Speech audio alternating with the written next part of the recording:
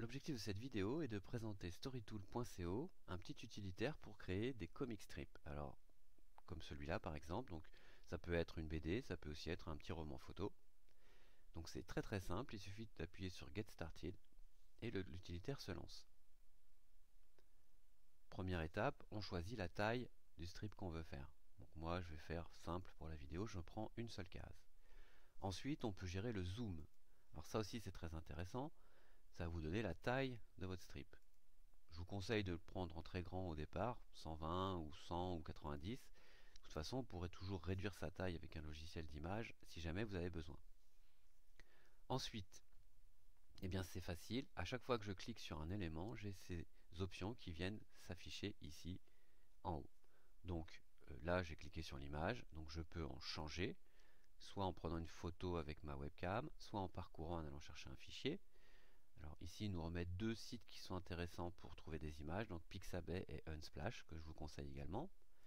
Moi ici, j'ai préparé une image. Voilà. Alors une fois que la photo est insérée, je peux en ajuster la position et la taille. Donc là, vous voyez que c'est bien trop grand. Donc avec le petit carré rouge, je vais réduire. Et ensuite, je reviens positionner l'image dans le rectangle de la case. Donc là, c'est un peu trop petit. Je reclique, voilà, j'ai positionné mon image. Ensuite, si je clique sur la bulle, eh bien, j'ai accès à son contenu. Alors celle-ci, je vais la retirer, je fais Remove, et je vais en ajouter une autre que je vais créer tout seul. Donc ici, il faut la positionner. Ensuite, avec le rond, je peux changer l'orientation. Et ensuite, je tape le texte.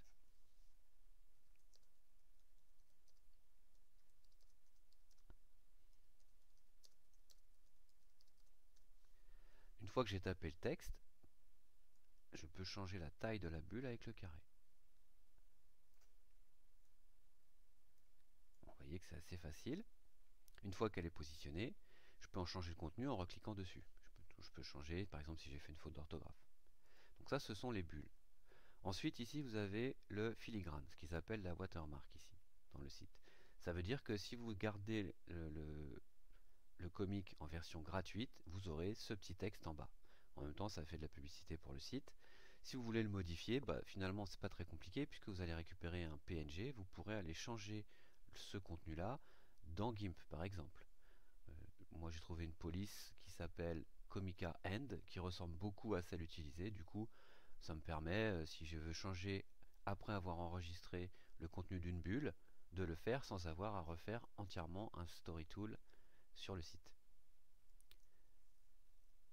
Ensuite, donc ici vous avez les captions, les libellés, donc soit sur fond blanc, soit sur fond jaune, qui vous permettent de rajouter des petits textes.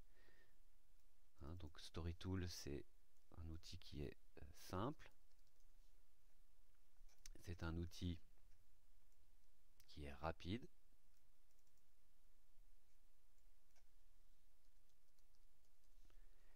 Et qu'on peut utiliser sa version gratuite.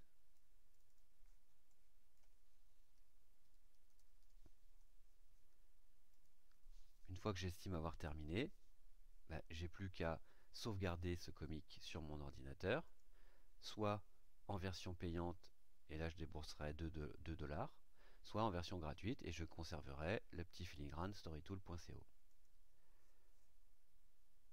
Je vais l'ouvrir avec la visionneuse, pour qu'on voit ce que ça donne.